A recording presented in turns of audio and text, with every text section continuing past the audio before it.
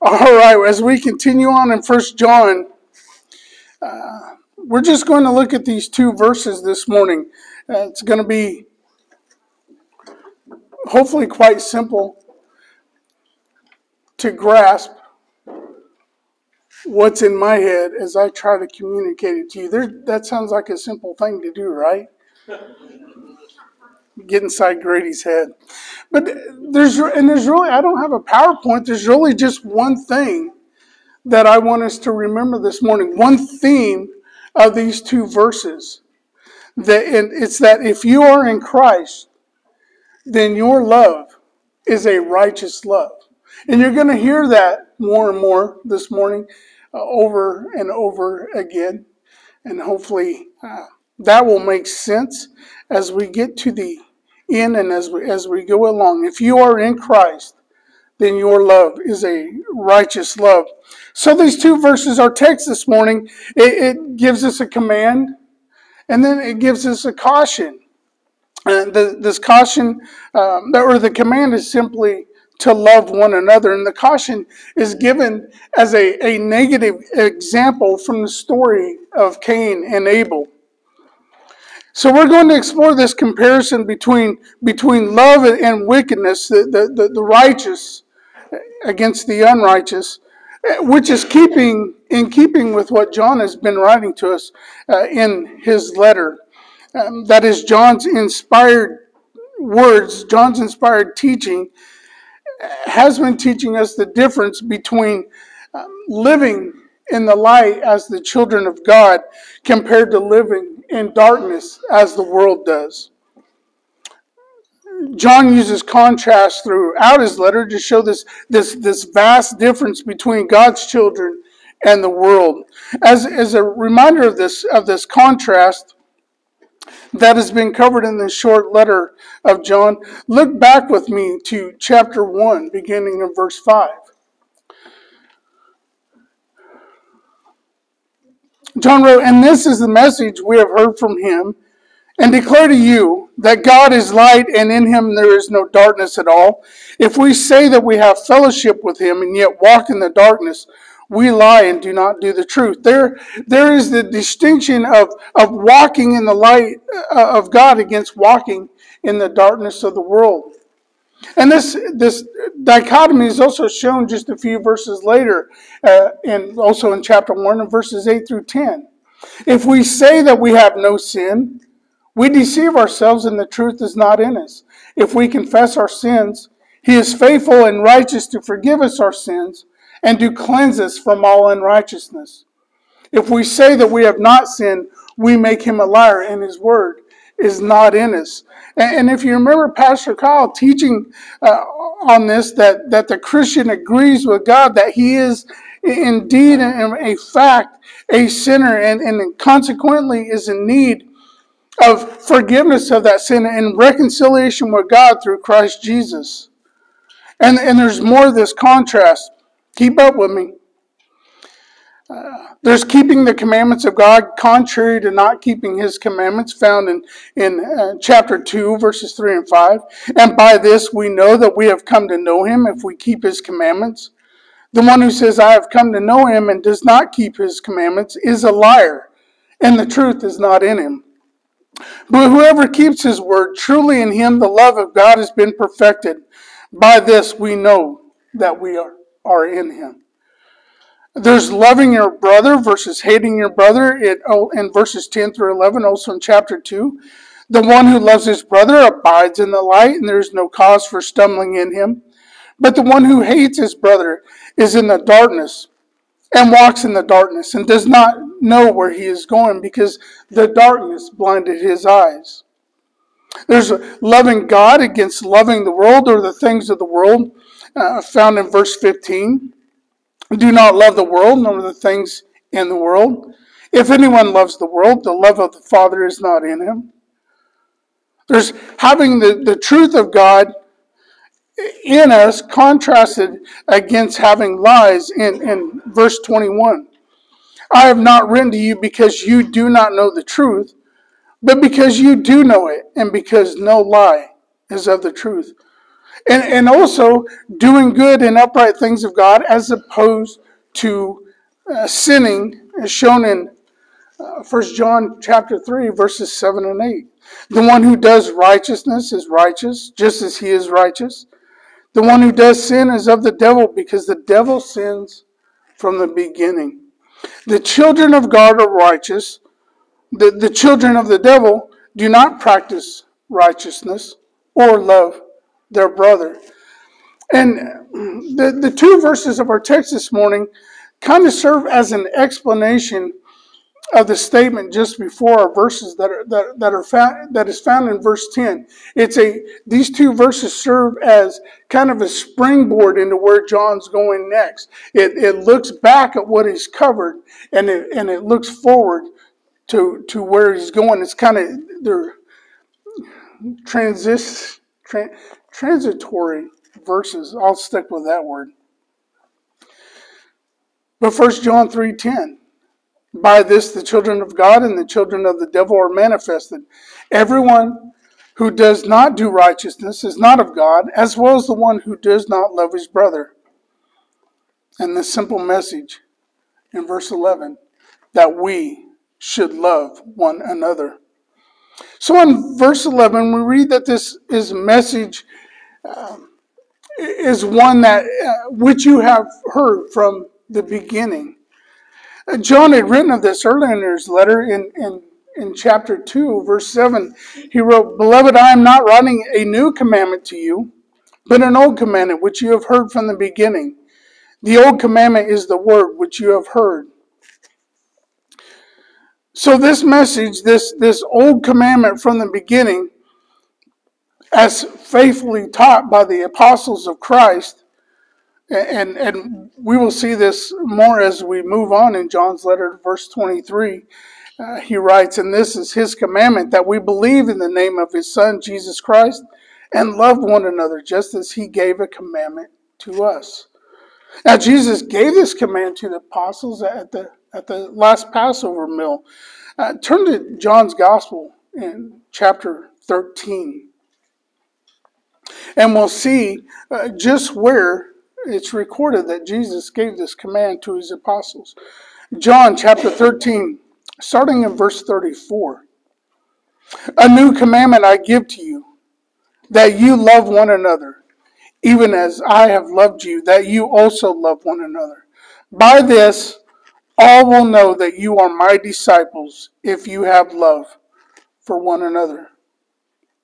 And Jesus stated even further on in, in, in, chapter 15, he said, This is my commandment that you love one another just as I have loved you. Jesus loved his own who were in the world, and he loved them to the end, harkening back to uh, the beginning of uh, in John.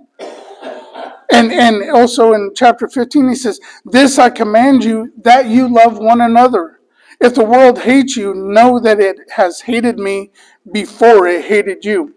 So here then is the commandment to love your brothers and sisters in Christ, given by Jesus, faithfully taught by the apostles, the message um, which you have heard from the beginning.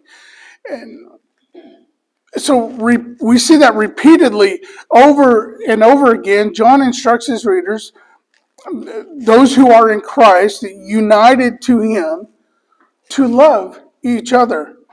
Uh, just quickly, don't try to flip with me.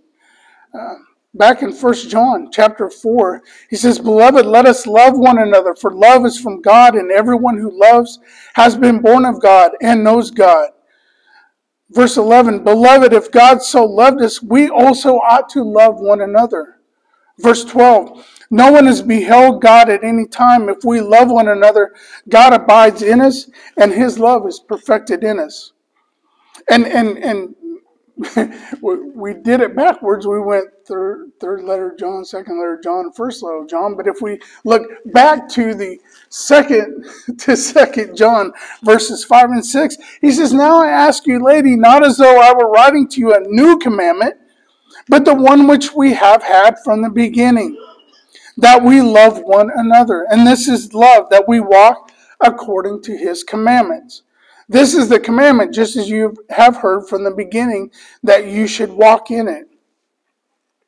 This old commandment of God, fulfilled in Christ and, and will be displayed in the lives of his people, his, his church. It goes, it goes back in, into redemptive history uh, to the law told of in Leviticus 19.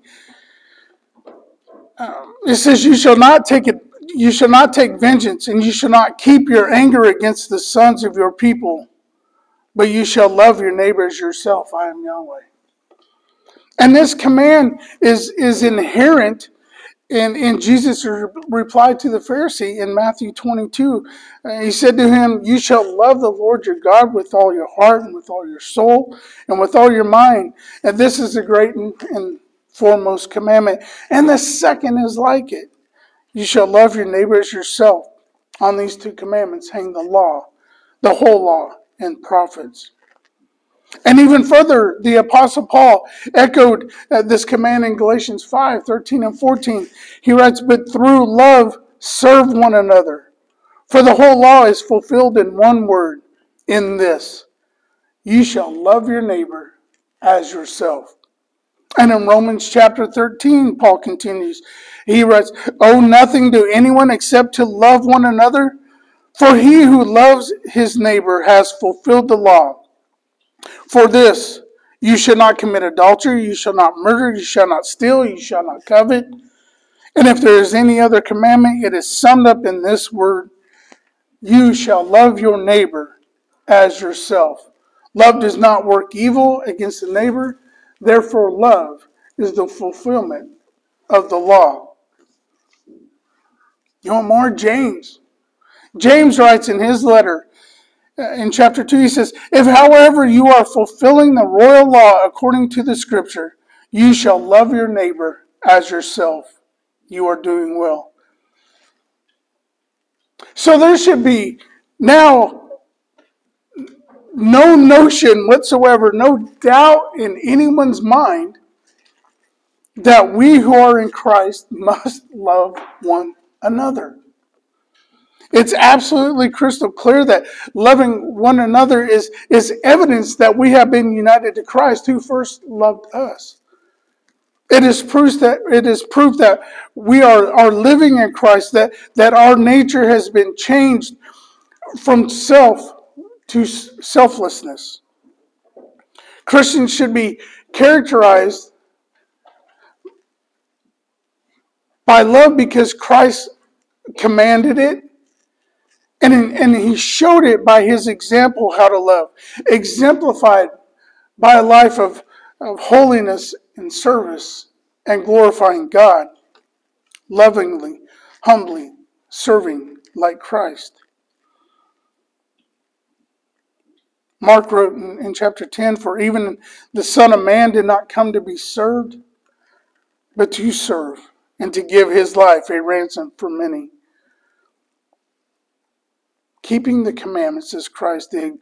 Uh, keeping his commandments, as John writes of this in chapter 5, which, would you say, eight, nine months from now, we'll be there. Chapter 5. By this we know that we love the children of God when we love God and do his commandments. For this is the love of God that we keep his commandments, and his commandments are not burdensome. It is essential to know that that that love marks the Christian life because because love is an attribute of God. It, it emanates from God. Without God giving to us love, we would not know what love is. We would not be able to know what love is. It's, that's displayed perfectly in those outside of Christ. They have no idea of what love is.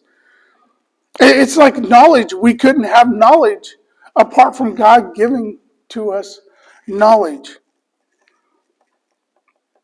You cannot have love apart from God. One more clarification about your love as a, as a Christian. And I'll repeat if you are in Christ, then your love is a righteous love. Because if we if we define love, if we look at it as compared and contrasting it between Cain and Abel, in, in verse 12, Cain is described as evil because his deeds were evil.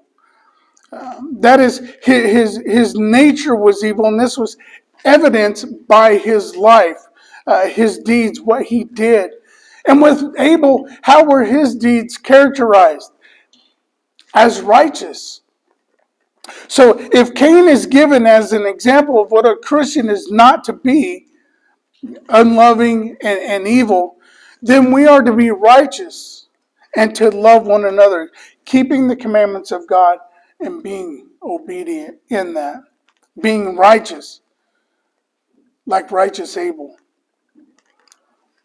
Righteous, if we look at what that word means, it's just a, uh, a good and proper uh, conduct. Uh, it's good and, and, proper according to the standard of God. It's it's uh, being obedient to Him. So, if you are in Christ, then your love is a love that is right according to God's standard. If you're in Christ, then your love is a righteous love. And we can only have this righteous love because we are made righteous in Christ. Um, he made him who knew no sin to be sin on our behalf, so that we might become the righteousness of God in him, according to God's grace and mercy shown in us, shown to us. So compare this righteous love with the type of love that the, that the world wants to define. To, to those in the world, loving one another typically means uh, an acceptance of the sin that they, they're immersed in. It's, it's giving approval of their sinful lifestyle, whatever it may be. To them, mentioning um, that they are characterized by, by, by sin and what they are doing uh, marks that they are sinful is hating them. And in some extreme cases, um, your words against them are considered as doing violence against them. They love the darkness rather than the light. They love their sin rather than loving Christ. Their deeds are evil. The world absolutely rejects a love that is righteous, a love that is in accordance with God's standard. It's a warped definition of what love is. It's not true love. Remember, love comes from God, and God cannot approve of sin. So, how could love?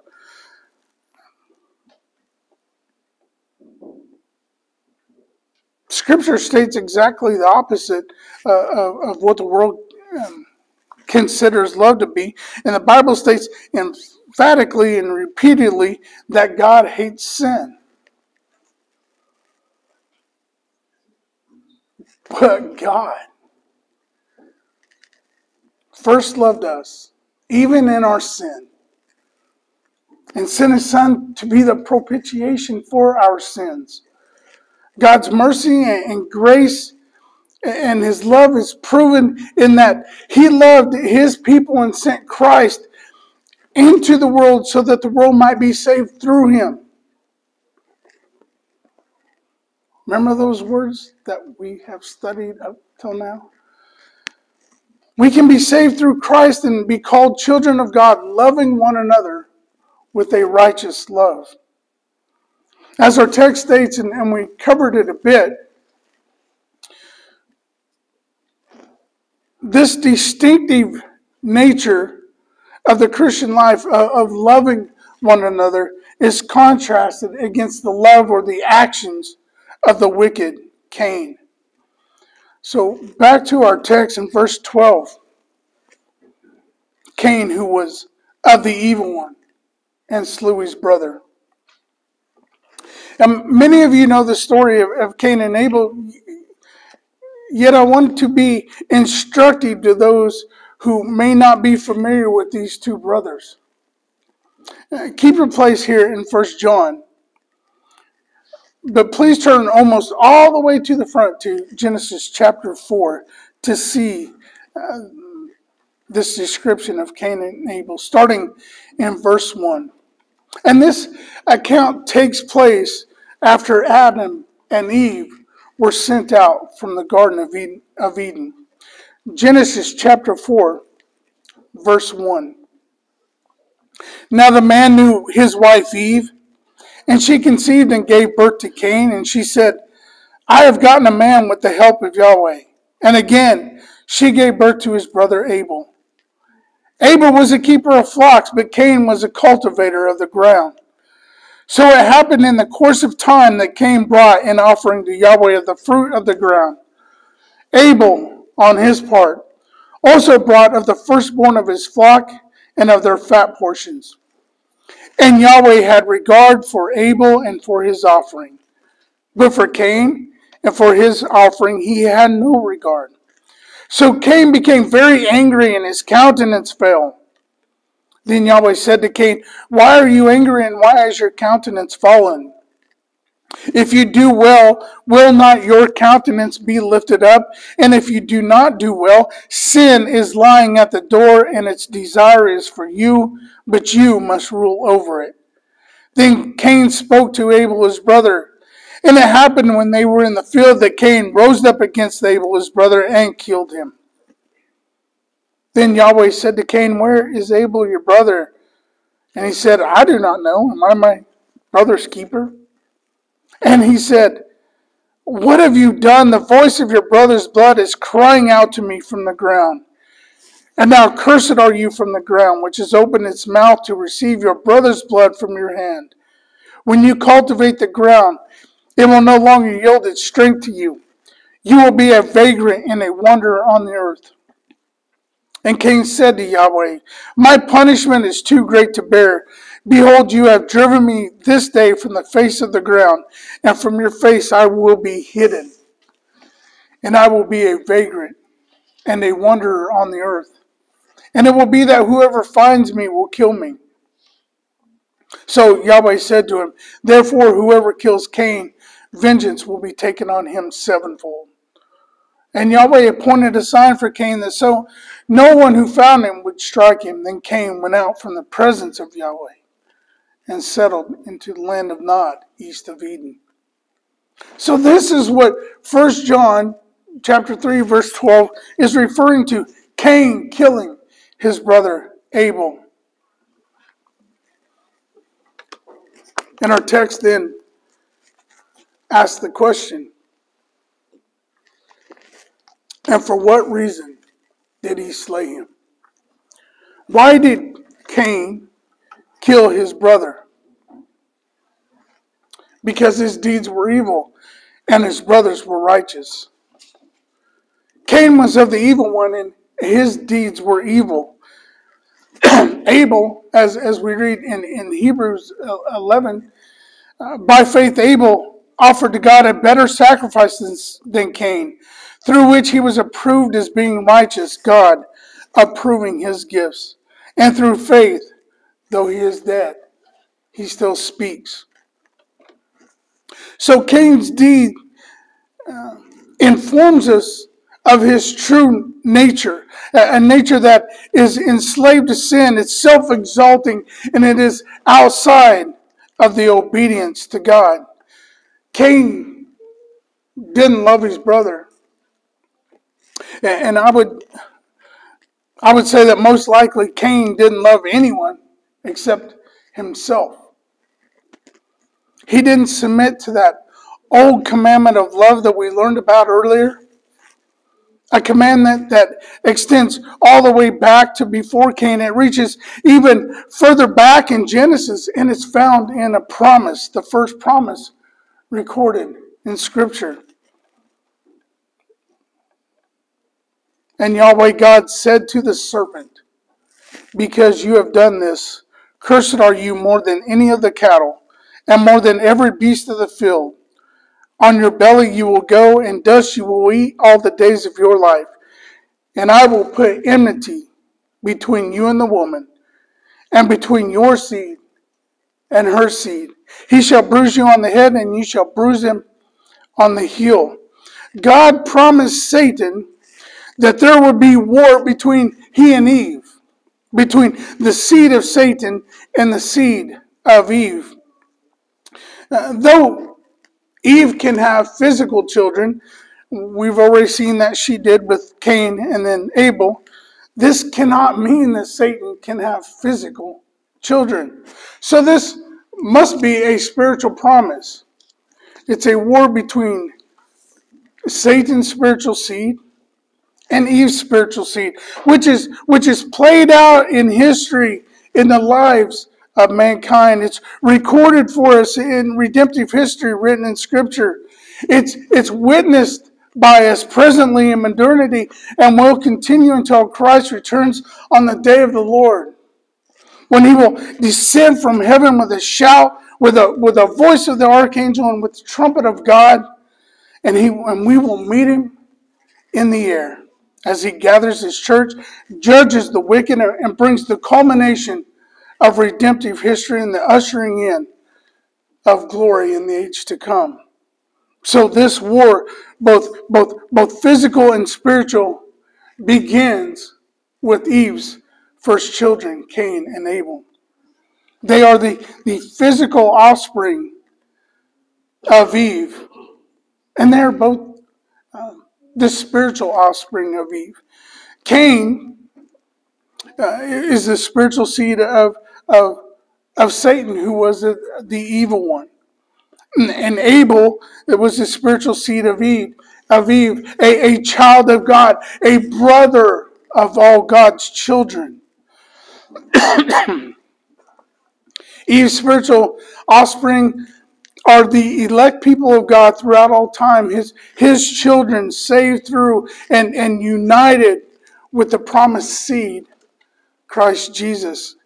And we see this continuation of Eve's uh, spiritual offspring in the birth of Seth. Then Adam knew his wife again, and she gave birth to a son and named him Seth, for she said, God has set for me another seed in place of Abel, for Cain killed him.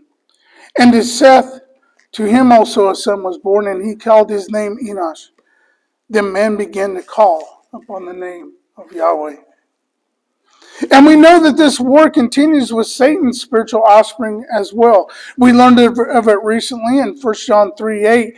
The one who does sin is of the devil because the devil sins from the beginning. The Son of God was manifested for this purpose to destroy the works of the devil. And Jesus said to those seeking to kill him, He's, Why do you not understand what I am saying? It is because you cannot hear my word. You are of the father, the devil, and you want to do the desires of your father. He was a murderer from the beginning and does not stand in the truth because there is no truth in him. Whenever he, whenever he speaks a lie, he speaks from his own nature, for he is a liar and the father of lies. Cain warred against righteousness. He showed contempt, and hatred for Abel. He, he, was, he was jealous of God's approval of, of, of Abel. He was angry with his brother, and he gave himself over in his sin, leading to murder. And how like the world this is. when, when the world encounters holiness and righteousness in Christians, they show scorn against it. They hatred and rage and, and venom spews from their mouth in their speech that's directed at us. All levels of this world uh, wars against Christ, and so wars against His church. Individuals uh, hate us and they act against us. Governments hate us and pass laws restricting us. The entire world is opposed to us because we have a righteous love through Christ. And it's not just it's not just outside of the local assemblies. For the offspring of Satan also sets among the congregation. examples of Cain are, are, are outside of the church, but, but, but representatives of Cain are also found within the church gathering. This is a war that is, is, is fought within and without. We're attacked from all sides. Yet in this, Jesus says that we are blessed. Blessed are you when men hate you and exclude you and insult you and scorn your name as evil for the sake of the Son of Man. We've learned that, that we should love one another. that this love is, is, a, is a righteous love, a, a biblically defined love, a righteous love that is only found in Christ Jesus. And we've contrasted this type of love, the, the, the love that God's children have, against the hatred of Cain, who is the uh, spiritual child, part of the spiritual children of Satan. It's, it's love versus hate. Kind of gives a different meaning to that slogan, choose love. I noticed that on some football helmets or something. It's the children of God versus the, the evil world and their father, the devil. Those, those who are, are in Christ, opposite of those who are condemned in the world. To have the love of Christ, this sacrificial, uh, serving, righteous love you must be emptied of yourself, emptied of your selfish desires and your self exaltation. Spurgeon said, You will never know the fullness of Christ until you know the emptiness of everything but Christ. You see in, in this uh, contrast of the righteous against the wicked that we have covered this morning, I, I don't want you to leave here filled with, with any sense of pride in yourself for being a Christian who, who, who works to keep their, their conduct holy. Because that glory belongs to Christ alone. And I, I don't want you to look at those in the world as the enemy. They're not. Satan is the enemy. Those wicked people are simply slaves to their, their sinful nature. And we've seen this uh, in this war that has been raging for centuries. Unless we forget, we were dead in our transgressions and sins. We, prior to being united uh, with Christ, also walked with the wicked walked within the world, slaves to the lust of our flesh, and were by nature children of wrath, as they are. I'll continue with this passage from Ephesians because I can't state it any clearer than this. But God, being rich in mercy because of his great love with which he loved us, even when we were dead in our transgressions, made us alive together with Christ. By grace you have been saved. And raised us up with him and seated us with him in the heavenly places in Christ Jesus, so that in the ages to come he might show the surpassing riches of his grace and kindness toward us in Christ Jesus. For by grace you have been saved through faith, and this is not of yourselves, it is the gift of God, not of works, so that no one may boast. So boast in Christ to this evil world, to, to that person who is extremely difficult to love. Boast of Christ to them. The, the greatest act of righteous love that, that we can do for them is to proclaim to them the good news that Christ came to save sinners. The gospel message invite them uh, to come to the well of Christ Jesus and drink the water of life. Jesus, who, who, who bore the, the sins of, of many, he bore the curse, he defeated death, plead with them to, to join Christ in, in his death and his resurrection, to repent of their sins, to turn away from their, their quest for spiritual autonomy, from their wandering in darkness, and come to the light of the world, Christ Jesus, our Lord. Come to Jesus, our righteous love, the, the gospel. But that gospel is not just for them, it's also for us to be reminded of it daily because we need it. We're reminded when we gather, we're reminded when we uh, come to the table and partake of the bread and the wine. It's a gospel remembrance of what Christ has done for us. Shown, his sacrifice shown through a righteous love. Father, we thank you for this time this morning. We thank you for um, for these two verses from this letter of John that, that speaks so much to us. Verses that we, we might just pass over but not fully understand. Father, we pray for uh, you to grant to us knowledge of what you're trying to tell us. That we understand uh, this great love that you have for us, this righteous love that's defined by you, not defined by this world or our emotions, but defined objectively by you. We ask for your help to be that love to this world.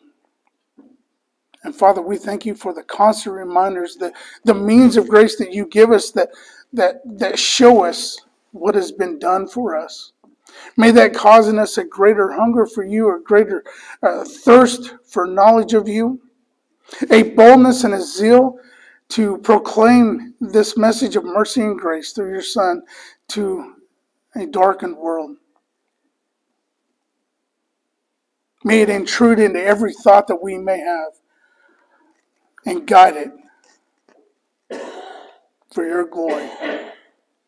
In Jesus' name we pray. Amen.